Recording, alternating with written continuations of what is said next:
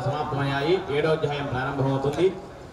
పరమ పవిత్రమైనటువంటి మాఘమాసంలో పూర్ణిమతో కూడినటువంటి శుక్రవారం చాలా విశేషమైనటువంటి పర్వదినము. సాయంకాలం మళ్ళీ ఐదు గంటల నుంచి కార్యక్రమం ప్రారంభమవుతుంది.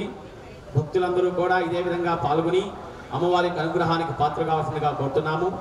పన్నెండవ తేదీ ఆదివారం సాయంకాలం మహాకుంభాభిషేకం మహోత్సవంలో భాగంగా యాగశాల ధ్వజారోహణ మహోత్సవం జరుగుతుంది. ఆ కార్యక్రమంలో సంతానం లేనటువంటి వారికి కొడి ముద్దలు ఇవ్వటం జరుగుతుంది. అమ్మ అనుగ్రహం వల్ల సంతానం కలుగుతుంది. కావున ఎవరైనా భక్తులు ఆ యొక్క అవకాశాన్ని వినియోగించుకోవాల్సిందిగా మనం చేస్తున్నాం. శుభం భూయా